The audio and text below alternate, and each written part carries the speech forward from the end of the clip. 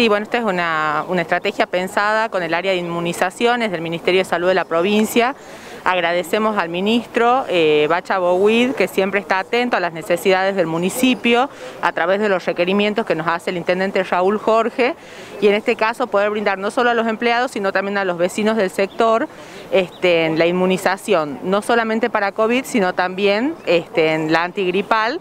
Eh, con la CEPA 2021. Así que estamos muy agradecidos por esta gestión, estamos agradecidos a todo el equipo y la Municipalidad de San Salvador de Jujuy a través de la Secretaría de Desarrollo Humano, por supuesto, apoyando y dándole este, refuerzo de recursos humanos al Ministerio para poder llevar adelante toda esta campaña.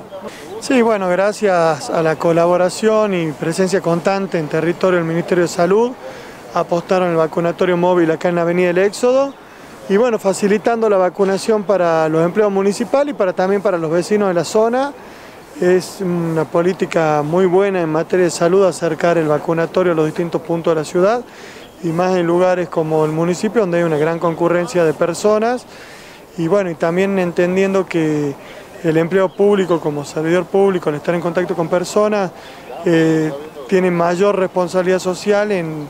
en poder vacunarse y poder estar inoculado para evitar mayores contagios. Bueno, hemos adherido totalmente al decreto provincial, tenemos la, responsabilidad de, eh, por el respeto a los compañeros de, trabajo acá en el municipio y a la necesidad de dar servicios permanentes, de tener todas las normas de protocolo para este, justamente los usuarios, los vecinos que vienen al municipio, donde tenemos que dar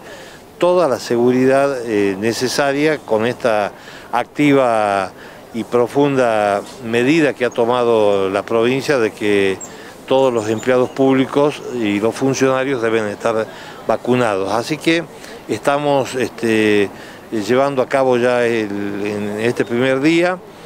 ya en lo que va de la mañana más de 80 vacunados, está trabajando muy bien todo el equipo, hay una gran cola, esta mañana era mucho más, más grande,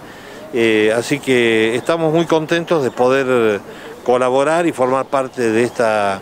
campaña que tiene que ver con la seguridad de todos los municipales y de, también de todos los vecinos a quienes eh, nos debemos.